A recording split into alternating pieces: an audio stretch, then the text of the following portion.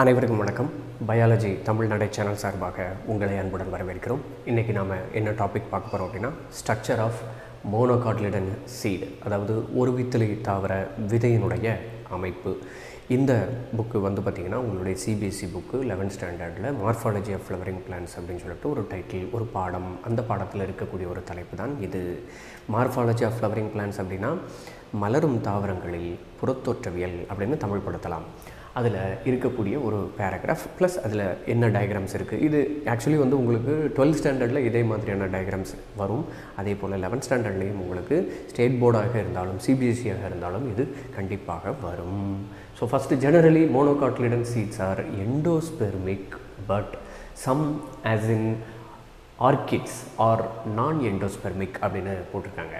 அதாவது ஒரு வித்தலை தாவரத்தில் இருக்கக்கூடிய விதைகள் வந்து மோனோகாட்லிடன் சீட் ஆர் எண்டோஸ்பெர்மிக் அப்படின்னா கருவூன் திசு உள்ளவைகள் அப்படின்னு சொல்லிட்டு நாம் புரிஞ்சுக்கணும்.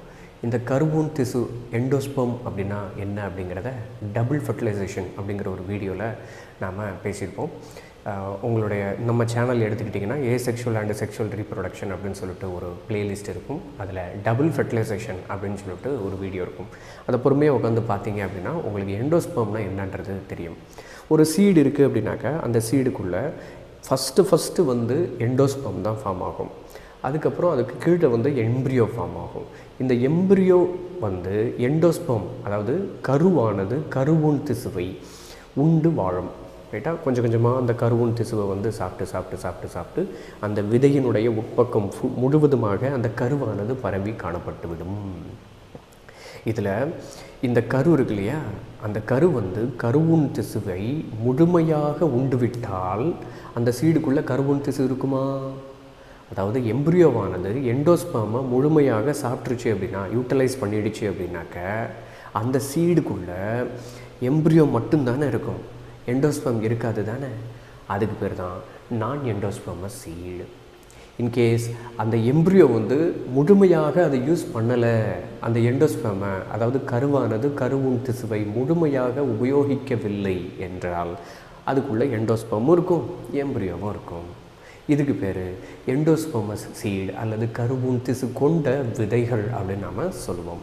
அதில் ஆர்கிட்ஸ் அப்படிங்கிறது வந்து சில அழகு தாவரங்கள். நீங்கள் ஆர்கிட்ஸ்னு கூகுள் பண்ணி பாருங்கள் உங்களுக்கு தெளிவாக அது சம்மந்தமாக டீட்டெயில்ஸ் கிடைக்கும். அப்போ முதல்ல மோனோகாட்லிடன்ஸ் அப்படின்னா அதில் எண்டோஸ்பெர்மஸ் சீடாக அது இருக்கலாம். சில ஆர்கீடுகளில். ஒரு வித்தலை தாவரத்தில் தான் வந்து இந்த ஆர்கீடுகள் அப்படிங்கிற வகை தாவரங்கள் இருக்குது அந்த தாவரங்களில் நான் எண்டோஸ்பெர்மிக்காக அதாவது கருமுன் திசு அற்ற ஒரு நிலையில் அந்த விதைகள் காணப்படுது. நெக்ஸ்ட்டு வந்து இந்த சீட்ஸ் ஆஃப் சீரியல்ஸ் சீரியல்னால் என்னது? தானியங்கள். தானியங்கள்னால் என்னது? கார்போஹைட்ரேட்டுகள் அதிகமாக இருக்கக்கூடிய உணவுப் பொருட்கள். நெல் கம்பு சோளம் திணை அதுக்கப்புறம் மக்காச்சோளம் கேப்பை அப்படின்னு சொல்லுவாங்கள்ல கேழ்வரகு அப்படின்னு சொல்லுவாங்கள்ல அது அந்த கேழ்வரகு. இன்னும் நிறைய இருக்குது சாமை குதிரைவாளி திணை இந்த மாதிரி நிறைய வகைகள் இருக்குது வரகரிசி அப்படிம்பாங்க. இது எல்லாமே சீரியலில் வரும். இது எல்லாமே ரிச் இன் கார்போஹைட்ரேட்ஸ் கார்போஹைட்ரேட்டுகள் அதிகமாக இருக்கக்கூடிய உணவுப் பொருட்கள். அது வந்து சீரியல்ஸ் அப்படின்னு நாம் சொல்லுவோம். அதில் ஒன் ஆஃப் தி எக்ஸாம்பிள் தான் மெய்ஸ் அப்படின்னு போட்டிருக்கோம். தட் இஸ் மக்காச்சோளம். மக்காச்சோளத்துக்கும் சோளத்துக்கும் வித்தியாசம் இருக்குது அது என்னென்னு போய் கூகுள் பண்ணி பாருங்கள் அல்லது உங்கள் வீட்டில் சமையல் கட்டில் போய் பாருங்கள் சீட் கோட் அந்த மெய்ஸில் வந்து பார்த்திங்கன்னா seed coat is membranous and generally fused with the fruit wall இந்த மெய்ஸ் தாவரத்தில் மட்டுமல்ல எல்லா தாவரங்களிலையும் ஒரு வித்தலை தாவரமாக இருந்துச்சு அப்படின்னா அதனுடைய விதையினுடைய உரை இருக்கு இல்லையா? அந்த விதையினுடைய உரை வந்து சாரி அந்த ஃப்ரூட்டினுடைய விதை உரை அதாவது கனி உரை அப்படின்னு நம்ம சொல்லுவோம். கனியுறையானது விதையுடன் இறுக்கமாக அமைந்துள்ளது அமைந்து காணப்படுகிறது. ஃபியூஸ்டு வித் இணைந்து காணப்படுகிறது அப்படின்னு போட்டிருக்கான். ரைட்டா ஃப்ரூட் வால் கனியினுடைய உரையானது ஃபியூஸ்டு இணைந்து காணப்படுகிறது.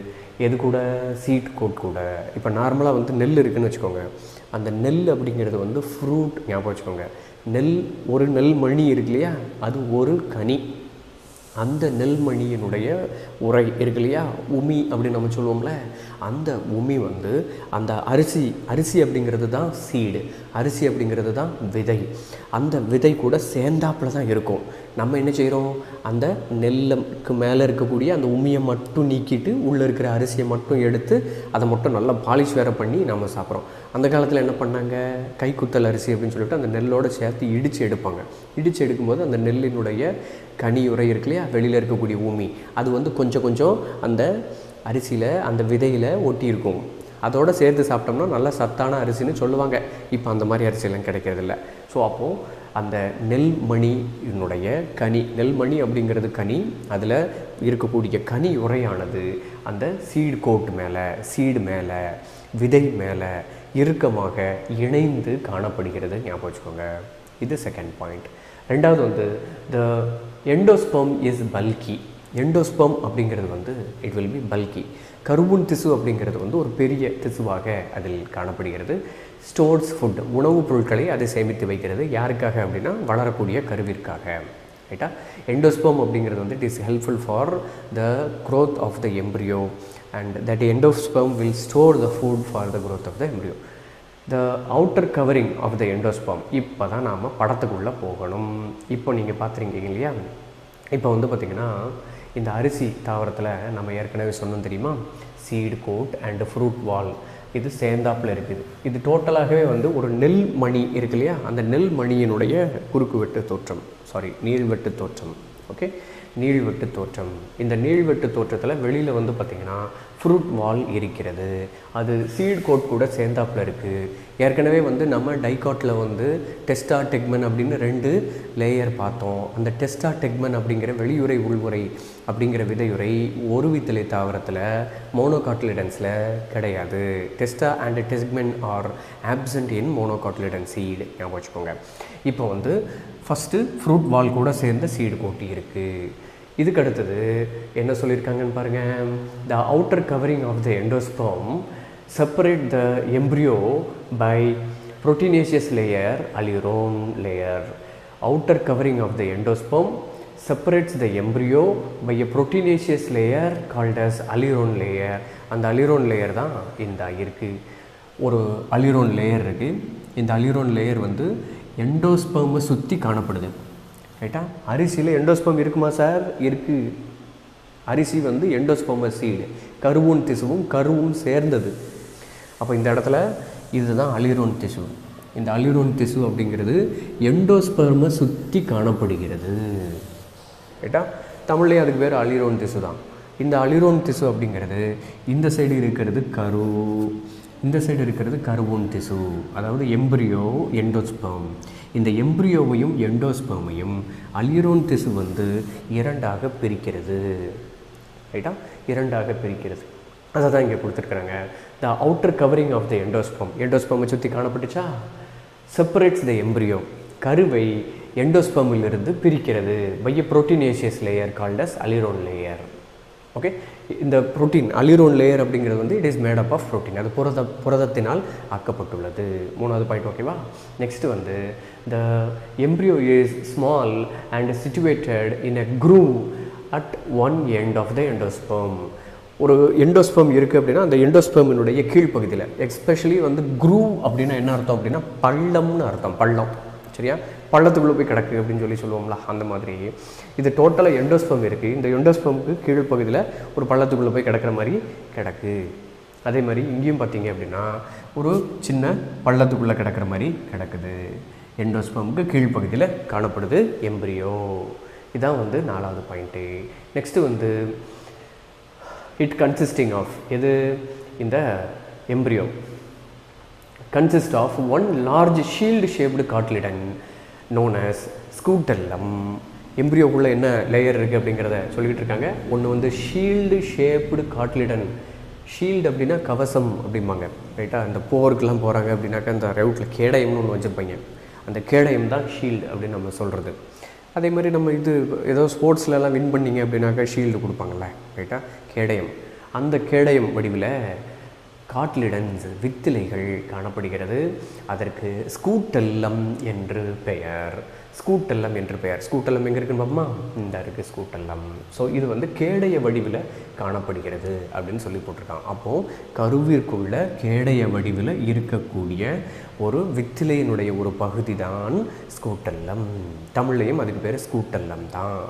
ஸ்கூட்டல்லம் அப்படிங்கிறது வந்து it is a part of embryo it's a cotyledon it will be shield shaped it is called a scutellum that's all ரைட்டா ஸோ இப்போது ஸ்கூட்டல்லம் ஓகே அஞ்சு ஆறாவது பாயிண்ட் ஓவர் நெக்ஸ்ட்டு வந்து இந்த scutellum and a short axis with plumule and radicle அந்த axis வந்து இது கூட கனெக்ட் ஆகிறது இந்த படத்தில் காமிக்கலை ரைட்டா ஒரு ஆக்சிஸ் ஒன்று இருக்கும் அந்த ஆக்சிஸ் இதில் காமிக்கல. ஆனால் நீங்கள் ஞாபகம் வச்சுக்க வேண்டியது என்ன அப்படின்னா ரேடிக்கல் அண்டு பிளிமியோல் இந்த radicle sorry plumule and radicle radicle அப்படிங்கிறது வந்து உங்களுக்கு ஏற்கனவே தெரியும். முளை வேர் அப்படின்னு நம்ம சொல்லுவோம். இருவித்திலே தாவரத்தினுடைய ஸ்ட்ரக்சர் படிக்கும்போது. அதில் தெளிவாக இருந்துச்சு இல்லையா? எம்ப்ரியோனல் ஆக்சிஸ் போட்டு ரேடிக்கல் இருந்து அதுக்கப்புறம் அதில் இருந்து பிளிமியூல் வந்து ஃபார்ம் ஆகிறது. முளை வேர் முளை குருத்து இதெல்லாம் மைய அச்சு கருவினுடைய அச்சில் இணைக்கப்பட்டுள்ளதை நாம் அங்கே தெளிவாக பார்த்தோம். இங்கே அந்த அளவுக்கு தெளிவாக இல்லை. ஏன் அப்படின்னு பார்த்தீங்கன்னா இந்த ரேடிக்கல்லேருந்து ரூட் ஃபார்ம் ஆகாதான். முளை வேரானது சாரி வேரானது முளை வேரிலிருந்து உருவாக்கப்படுவதில்லை. வேறு பகுதியிலிருந்து உருவாகுது. அது ஏன் அப்படிங்கிறதெல்லாம் நாம் இதுக்கு முன்னாடி வெஜிடேட்டிவ் மார்ஃபாலஜி அந்த ரூட் சிஸ்டம் இருக்கு இல்லையா? அதில் நாம் பார்த்துருப்போம். இப்போ இந்த இடத்துல ரேடிக்கல் இருக்குது பிளிமியூல் இருக்குது எம்ப்ரியோனல் ஆக்சஸ் இருக்குது அதே மாதிரி ஸ்கூட்டெல்லாம் இருக்குது அந்த ஸ்கூட்டெல்லாம் வந்து it has been attached with the embryonal axis அந்த எம்ப்ரியோனல் ஆக்சஸினுடைய ஒரு டிப்பில் பிளிமியூலும் இன்னொரு டிப்பில் ரேடிக்கலும் இருக்குது பிளிமியூல் அப்படிங்கிறது வந்து முளைக்குருத்து அப்படிம்பாங்க. முளைக்குருத்துலேருந்து தான் வந்து தாவரத்தினுடைய தண்டு பகுதி உருவாகுது. அதே மாதிரி ரேடிக்கல் அப்படிங்கிறது முளை வேர் அப்படிம்பாங்க. வழக்கமாக இருவித்திலை தாவரத்தில் முளைவேர்லேருந்து தான் வந்து வேர்கள் உருவாகும். ஆனால் ஒருவித்திலை தாவரத்தில் இருக்கக்கூடிய விதையில் ரேடிக்கல் இருக்கும். அது ஷார்ட் லிவ்டு கொஞ்ச காலம்தான் வாழும். அதிலிருந்து வேர்கள் கொஞ்சம்தான் உருவாகும். அதுக்கப்புறம் உண்மையான வேர்கள் அப்படின்னு பார்த்தீங்கன்னா அது ரேடிக்கல்ல இருந்து உருவாகாது ஒரு வித்தலை தாவரத்தில். அதனால தான் அதுக்கு பேர் வேற்றிட வேர்கள் அட்வென்டிஷியஸ் ரூட்ஸ் அப்படின்னு நம்ம சொல்கிறோம் சரியா? சரி. இப்போ வந்து radicle and plumule they have been attached with the scutellum அப்படிங்கிற ஒரு விஷயத்தை நம்ம படிச்சிருக்கிறோம். And a short axis okay பொதுவாக எம்ப்ரியோக்குள்ளே என்னென்னலாம் இருக்கும் அப்படின்னாக்க scutellum plumule radicle embryonal axis ஞாபகம் வச்சுக்கோங்க. The plumule and radicle are enclosed in a sheath இந்த ஸ்ட்ரக்சர் வந்து மோனோகாட்லேட்டன்ஸில் ஒரு வித்தலை தாவரத்தில் கிளியராக தெரியும். கோலியோப்டைல் அண்ட் கோலியோரைஷா கோலியோப்டைல் அப்படிங்கிறது வந்து முளை வேர் கோலியோப்டைல் அப்படிங்கிறது முளை குருத்து உரை அப்படிம்பாங்க. ரைட்டா முளை குறுத்து உரை இந்த புளிமியூவில் ப்ரொடெக்ட் பண்ணி வச்சுருக்கோம். அதே மாதிரி முளை வேர் உரை இது வந்து பார்த்திங்கன்னா கோலியோரைசா. ஓகே இந்த கோலியோரைசா அப்படிங்கிறது முளை வேர் உரை. அது ரேடிக்கலை வந்து பாதுகாப்பாக வைத்திருக்கும். ரேடிக்கல்ல இருந்து தான் வேர் உருவாகலை சார்? அப்புறம் சார் இதுக்கு சார் பாதுகாப்பு அப்படின்னு நீங்கள் கேட்டிங்கன்னா ஒரு விதையை போட்டோன்னே அந்த விதையில் ஃபஸ்ட்டு ரேடிக்கல் தான் வெளியில் வரும். அது இருவித்திலையாக இருந்தாலும் சரி பொருவித்திலையாக இருந்தாலும் சரி அதிலிருந்து தான் முதல்ல சின்ன ஒரு வேர் மாதிரியான ஒரு ஸ்ட்ரக்சர் வந்து அந்த சீடை வந்து கரெக்டாக மண்ணோடு இணைச்சி பிடிச்சிக்கிடும். அதுக்கப்புறம் வந்து அது ஜெர்மினேட் ஆகி ஃபஸ்ட்டு ஃபார்மோட ரூட் வந்ததுக்கப்புறம் இந்த ரேடிக்கல் காணாமல் போயிடும் ஒரு வித்தலை தாவரத்தில். ஆனால் இருவித்தலை தாவரத்தில் அப்படி இல்லை. அந்த ரேடிக்கல் அப்படியே ரூட்டாக மாறி டேப் ரூட் சிஸ்டமாக வளர்ந்துடும் ஆணிவேர் தொகுப்பாக வளர்ந்துடும் முளை வேர் இருவித்தலை தாவரத்தில்.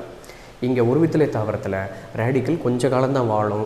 எப்போ இன்னொரு ரூட் வந்து ஃபார்ம் ஆகுதோ அட்வென்டிஷியஸ் ரூட் வேற்றிட வேர்கள் வந்து ஃபார்ம் ஆகுதோ ரேடிக்கல் தவிர மற்ற எந்த இடத்துல இருந்தனாலும் வேர்கள் வந்து உருவாகும். அதுதான் வேற்றிட வேர்கள் ஒரு வித்தலை தாவரத்தில். சரியா? அப்படி இருந்துச்சு அப்படின்னாக்க அதுக்கு பேர் ஒரு வித்தலை தாவரம். அதுக்கு பேர் அந்த ரேடிக்கலை வந்து ப்ரொடெக்ட் பண்ணுறதுக்கு தான் கோலியோரைஸாக இருக்குது முளை வேரானது முளை குரு சாரி முளை வேர் உரையானது முளை வேரினை பாதுகாக்கிறத ஞாபகம் வச்சுக்கோங்க. அதே மாதிரி முளை குருத்து உரையானது முளை குருத்தினை பாதுகாக்கிறது ஞாபகம் வச்சுக்கோங்க. Coleoptile is the protective layer of the plumule likewise the coleorhiza is the protective layer of the radicle அதை தான் லாஸ்ட் பாயிண்ட்டாக உங்களுக்கு கொடுத்துருக்காங்க. The plumule and radicle are enclosed in sheaths which are called as coleoptile and coleorhiza respectively இதான் வந்து monocotyledon seed பற்றி உங்களுக்கு கொடுத்துருக்கிற தகவல். உங்களுடைய சிபிஎஸ்சி புக்கில் ஐந்தாவது பாடத்தில் மார்ஃபாலஜி ஆஃப் ஃப்ளவரிங் பிளான்ஸ் அதாவது மலரும் தாவரங்களின் புறத்தோற்றவியல் அப்படிங்கிற ஒரு பாடத்தில்.